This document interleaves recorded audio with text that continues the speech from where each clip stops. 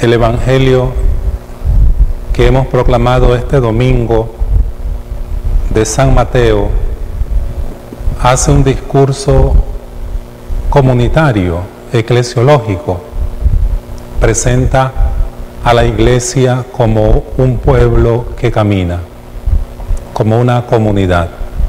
Y podemos pensar hoy en la iglesia doméstica, la familia que se reúne como creyentes en sus casas.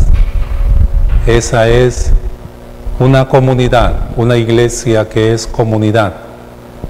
Ya el Papa Francisco, en sus catequesis sobre la iglesia, que ha presentado los miércoles, ha presentado la iglesia como pueblo de Dios, como un pueblo que camina, como un pueblo que se salva como comunidad, como pueblo. Y ha dicho a los sacerdotes, a los obispos, que tenemos que caminar en medio de ese pueblo. Algunas veces nos ha dicho adelante para guiarlos otras veces en medio de ellos para acompañarles y otras veces detrás para ayudar a los que se van quedando, a los que van caminando más lentamente. Pero es un pueblo, un pueblo que se salva junto, o nos salvamos todos o nos hundimos todos. No se presenta la iglesia como algo individual, que yo tengo mi relación con Dios, rezo con Dios, estoy en gracia con Dios y no me importa el resto de la iglesia, no me importa el resto de la comunidad, no es así. San Mateo en el Evangelio de hoy va a insistir y el Papa Francisco nos ha dejado en claro que la iglesia es el pueblo de Dios, es la comunidad. Teniendo presente ese discurso de San Mateo y esas catequesis del Papa sobre la iglesia, que somos una comunidad que se salva junta, que se salva unida, es que podemos entender mejor o les puedo explicar mejor el Evangelio de hoy, que en ese sentido de comunidad que insiste San Mateo, nos presenta tres aspectos de la comunidad, cómo debe vivir, vivir la comunidad. Y el primero es, si tu hermano comete un pecado, ve y amonéstalo. Lo que llamamos la corrección fraterna. Corregir al hermano hermosamente en la primera lectura se nos presenta la imagen del centinela, un hermano que está cuidando y va a ayudar a los hermanos si viene algún peligro y el centinela está vigilando día y noche. Los demás hermanos pueden estar trabajando, descansando, pero el centinela cuando ve venir el peligro los llama, les alerta y les dice cuidado y todos escuchan la voz del centinela y obedecen y van a cuidar sus vidas. En el Salmo Jesús nos dice, Dios nos dice que Jesús, que Dios, Jesús para nosotros es el centinela, el guardián de Israel, el guardián de su pueblo, el que nos cuida. La corrección fraterna es ayudar al hermano cuando el hermano se está desviando con peligro de perder la salvación de su alma, de perder su vida humana y de dañar a los demás, hay que ayudarle. Esta ayuda, esta corrección fraterna, no es simplemente una crítica destructiva, no es una crítica vacía, no es intrometerse en la vida del otro, no es hacer chismes, no es hacer leña del árbol caído, no es burlarse del otro, no es restregarle en la cara su pecado, es una ayuda, que el otro que se está desviando sienta que tiene un amigo, una amiga, un hermano que está con él, que le está acompañando, en el cual puede confiar para que se sienta ayudado, animado. Es decir, la corrección fraterna tiene como fundamento, en primer lugar, el amor. Por eso es fraterna, corrección fraterna, que lo hace por amor, porque ama realmente al hermano. Mira que el hermano se está perdiendo, se está alejando de Dios, de la iglesia, de la salvación, de la vida, se está destruyendo humanamente. Y el hermano dice, yo no puedo, por amor, permitir que mi hermano se pierda. Yo tengo que ayudarle y me pongo a su disposición. ¿En qué te puedo ayudar? Poniéndose a su lado. Es el amor lo primero que tiene que estar como base de la corrección fraterna. Si no hay un verdadero amor, si hay otros intereses o otras actitudes, ya esa corrección no es buena, no sirve. Es el amor lo que debe mover a la corrección fraterna, es el fundamento de la corrección fraterna. Y se le ayuda en primer lugar a la persona que se está desviando, porque ha pecado, el pecado es alejarse de Dios, es entrar en los vicios, es entrar en la rebeldía, y la persona se va desmoralizando, va perdiendo todo su vida humana. Por ejemplo, podemos poner la droga o el alcohol, va destruyendo su vida humana. Y eso es lo primero que tenemos que ayudar a la persona para que descubra que el camino que está llevando no es bueno, que se está dañando a sí mismo. Eso es el pecado, una destrucción de sí mismo. Para que recobre la gracia, el Espíritu de Dios y todo lo malo pueda transformarlo en bien. Toda esa fuerza que pierde haciendo el mal o desviándose o caminando por el camino del mal, pueda convertirla en fuerza para caminar sobre el bien, en busca del bien o haciendo el bien. Eso es a nivel personal, pero también siempre el pecado no solamente daña a la persona que lo comete, sino que daña a otros, daña a la familia, a los más cercanos. Si seguimos con el ejemplo de la droga o del alcohol, daña a, la familia, daña a la, a la comunidad.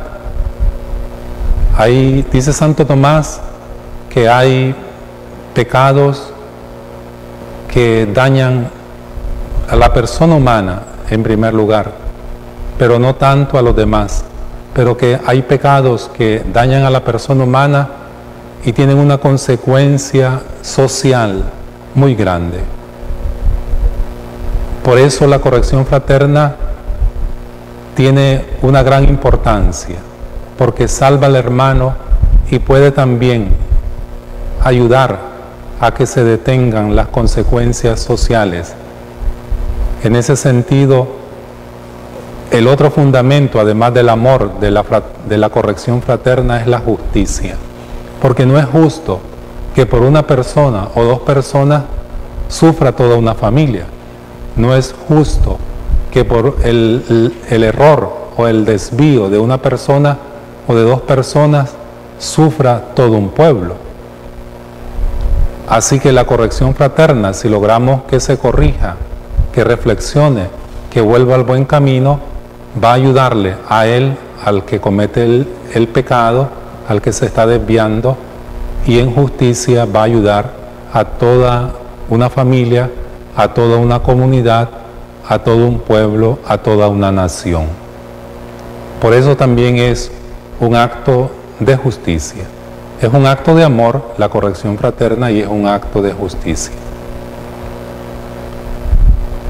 Es necesaria la corrección fraterna, no podemos nosotros decir, yo me quedo callado, yo no me meto con nadie, que no se metan conmigo, ¿para qué me voy a meter a problemas? Muchas veces escuchamos decir eso y podemos cada uno de nosotros, yo también, caer en esa actitud de creer que somos muy respetuosos y no meternos y no hacer la corrección fraterna, no hablar con el hermano. Pero San Mateo nos habla del discurso comunitario que les hablaba del inicio, que no nos salvamos solos, o nos perdemos todos o nos salvamos todos. Por eso tenemos que hablar con el hermano. Y en el profeta, en la primera lectura del profeta Ezequiel, en el capítulo 33 de Ezequiel, en el versículo 8, va a decir algo muy importante. Si tú no amonestas al malvado, al pecador, si te quedas callado, si dices yo no me meto, ¿para qué me voy a meter a problemas? ¿Para qué me voy a meter a redentor? Voy a salir crucificado. ¿Para qué voy a buscar problemas? Es problema de él. Yo me salvo solo. Hay que se pierda él. A mí no me importa, ¿para qué me voy a meter a eso? Si no lo amonestas para que se aparte del mal camino, dice, el malvado morirá por su culpa pero yo te pediré a ti cuenta de su vida. Es una obligación entonces, es necesario, porque está en juego también nuestra salvación, nos hacemos cómplices, porque dice el Señor, yo te pediré cuentas a ti también de su vida. Recuerden a Caín y Abel. ¿Qué dice Caín cuando, qué dice Caín cuando le pregunta, el Señor, ¿qué has hecho de tu hermano? ¿Dónde está tu hermano? A mí qué me importa, dice, ¿acaso yo soy guardián de mi hermano? O recuerden también el Evangelio, aquel rico que se volvió insensible ante el otro, ante la necesidad del otro. El otro estaba, ese era un pobre, que estaba necesitado y no le ayudó. No podemos, por lo tanto, dejar de hacer la corrección fraterna. Nos pedirá cuenta el Señor si nos quedamos callados. En cambio, si tú lo amonestas para que deje su mal camino y Él no lo deja, morirá por su culpa, pero tú habrás salvado tu vida. Ah, hay que decirle al hermano, con amor, como hemos dicho. También hay que orar para hablar con el hermano.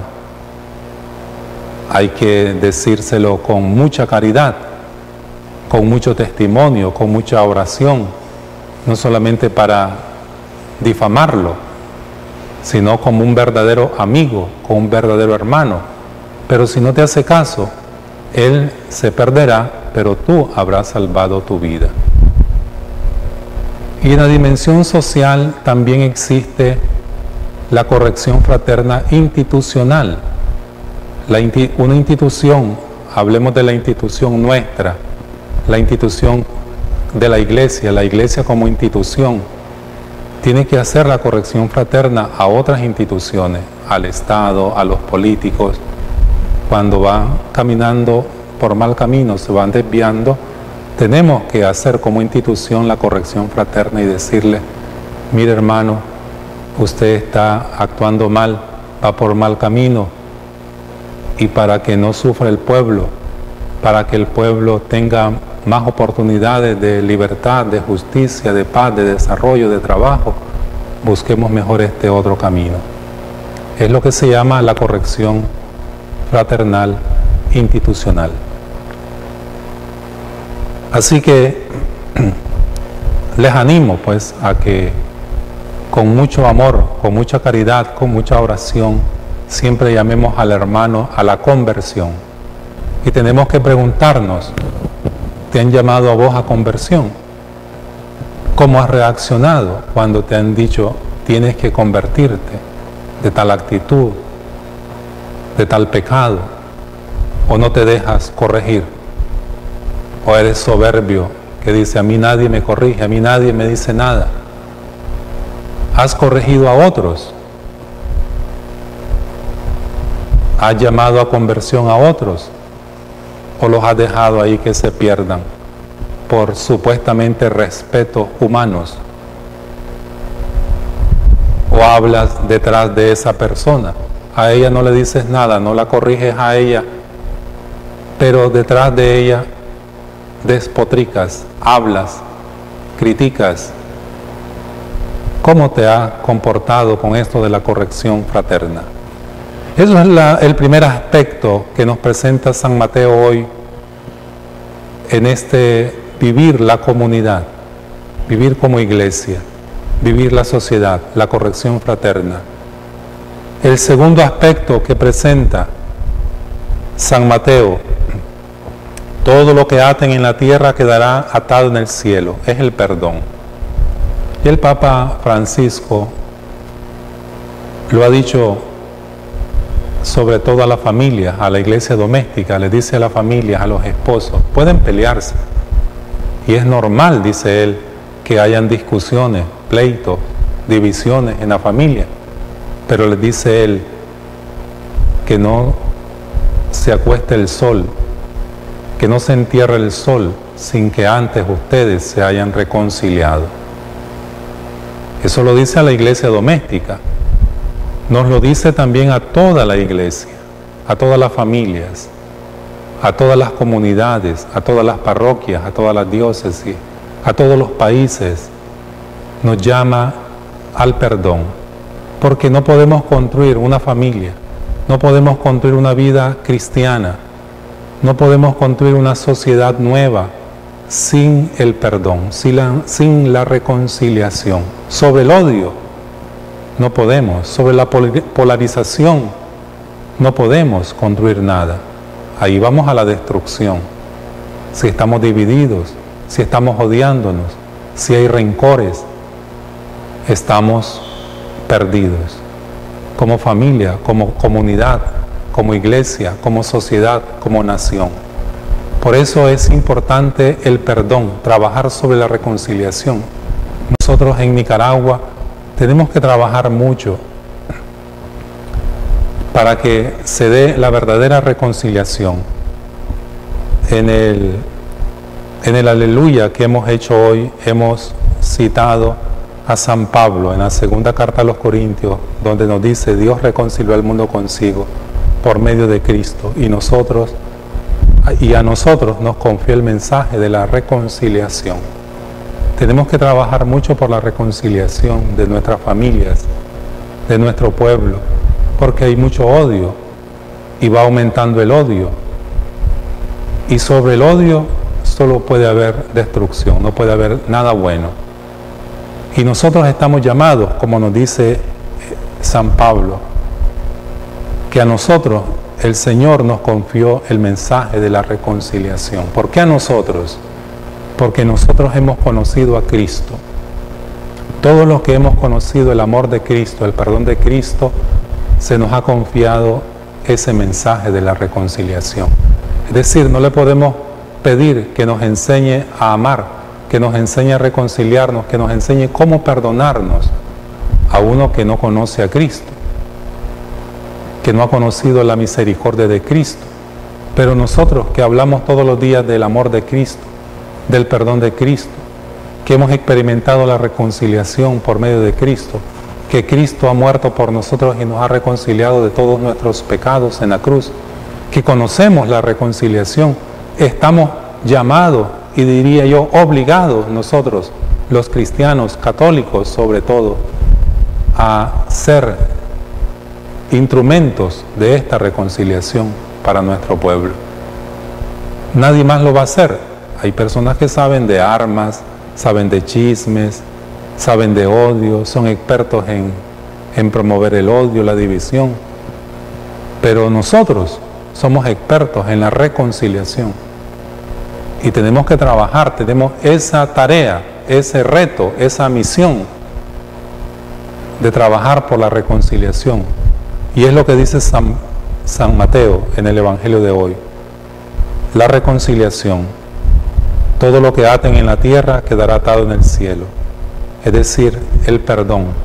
Somos pecadores y la comunidad tiene derecho de tener una nueva oportunidad de ser reconciliados, de vivir en el amor.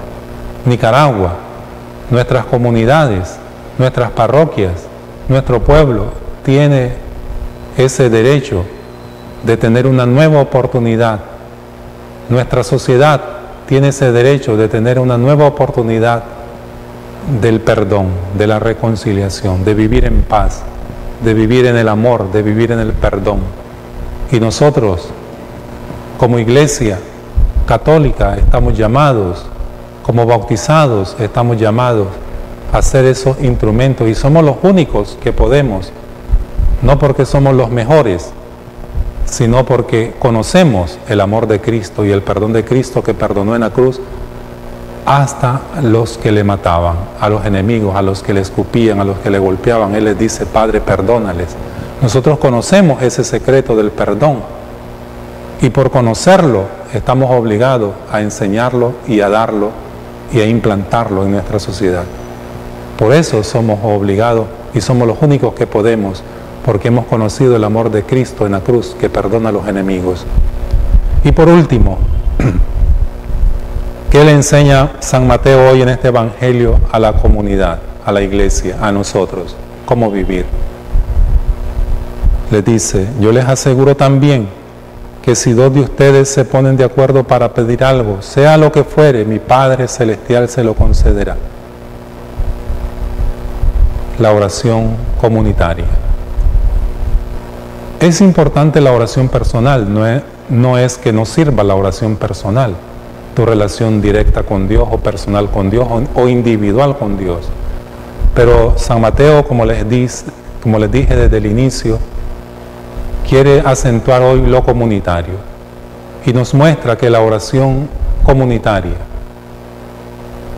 la oración ya de dos o tres o más, tiene mayor sentido y tiene mayor fuerza. Oigan lo que dice, si se ponen de acuerdo dos de ustedes en la comunidad para pedir algo, sea lo que fuere, mi Padre Celestial se lo concederá. Es decir, el Padre, Dios Padre, tome en cuenta la fraternidad de la comunidad. Tiene mayor fuerza para Dios Padre. Dios Padre tome en cuenta cuando nos unimos para rezar, para pedir por una intención, por una necesidad. Nosotros, como iglesia nicaragüense, vamos a orar por la patria. A partir del próximo martes 8 hasta el día 15. Iniciamos el 8 de septiembre, día del cumpleaños de la Virgen, y, terminamos este día de oración el día 15 de septiembre, Virgen de los Dolores. Nos hemos puesto de acuerdo todo un pueblo para orar por la patria. Dice el Señor, pidan, sea lo que fuere, mi Padre Celestial lo concederá. No vamos a estar dos unidos para orar por Nicaragua. Vamos a estar millones unidos rezando por Nicaragua, por su tranquilidad, por la paz, por el bienestar, de Nicaragua, por la verdad, por la justicia, por el amor, por la paz de Nicaragua, por la democracia de Nicaragua.